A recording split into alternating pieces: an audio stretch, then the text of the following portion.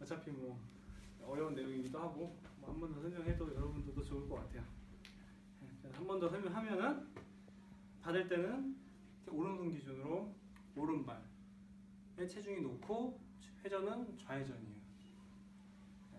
그냥 오른손 기준으로 오른발에 체중 놓으면 무조건 회전은 좌회전. 자, 왼발에 놓으면은 우회전인 거죠, 무조건. 체중이 왼발에 놓으면 무조건 우회전. 오른발에 놓으면 체중이 좌회전 걸린다고 생각해요. 실제로 이게 몸통이 여러분들 그냥 이렇게 서 있을 때 뒤보기 했을 때요. 어느 발에 체중을 놓고 하느냐에 따라서 보는 게 더 쉬워요. 자, 오른쪽으로 본다고 했을 때 왼발에 체중 놓는 게 쉬워요? 오른발에 체중 놓는 게 쉬워요? 왼발. 왼발. 그쵸? 예. 오른쪽 볼 때 왼발에 더 치는 게 싫어요. 그러니까 제 몸통 우회전할 때는 그 반대발 왼발에 체중을 싣는 게 유리합니다. 이건 자연스러운 거예요. 만약에 오른발에 놓고 올라가면 힘들어. 하지만 왼발에 놓고 올라가면 훨씬 더 많이 올 수 있죠. 네. 똑같아요. 이 운동도 똑같죠. 음, 이 웨이트 트레이닝 snatch도 똑같아요.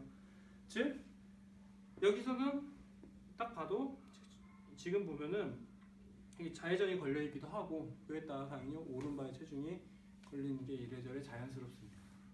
그리고 폈을 때 미들풀에서는 왼발에 체중이 실리고 오른쪽으로 우회전하면서 미들풀이 걸려 있는 거고 그 다시 손 놓기 할 때는 다시 좌회전이 만들어지니까 오른발에 체중이 걸리는 거고 밀기에서 끝내면은 그대로 그냥 밀면 끝나는 거죠. 그래서 이- 이때는 뭐 사실 뭐 신경 쓸 게 없어요.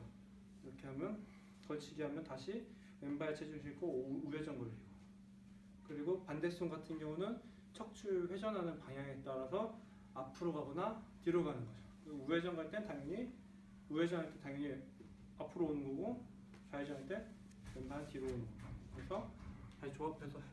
이제 설명하면은 결국에는 이렇게 이거를 그래서 한 번에 뭘로 알수 있냐 회전 상태는 이손 가지고 알수 있어요. 하지만 중심 중심 이동은 사실은 아, 사실 티가 안 나요.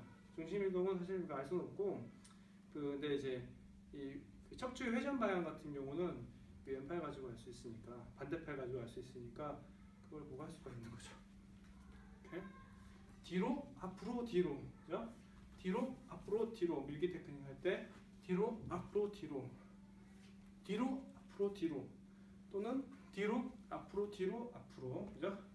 뒤로 앞으로 뒤로 앞으로 뒤로 앞으로 뒤로 앞으로 뒤로 앞으로 뒤로 앞으로 이렇게 자연스럽게 해, 해주시면 돼요. 네, 이제 좀 중심발이 어느 발이고 어떻게 회전이 걸리고? 왼팔은 반대팔 어떻게 움직여지는지 좀 더 명확하게 이해되셨죠? 네. 오케이 네, 이제 연습해 볼게요.